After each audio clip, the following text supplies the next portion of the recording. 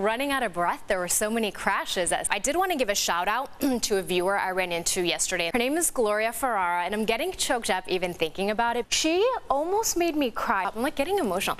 I was at a coffee shop in Lemon Grove doing a story. She's like, hey, can I tell you something? I'm like, oh yeah. I thought maybe she thought I was a barista. You really got me through a hard time during COVID, you know, watching you work from home with the cats and Oh stuff. Oh my gosh. It was like the sweetest thing. I told her, oh my gosh, you just made my day. It just meant a lot and that you said that. So um, just know that each one of us are impacting someone in life. So Yes. anyway, that just made me super emotional. And you don't know what someone's going through. Exactly.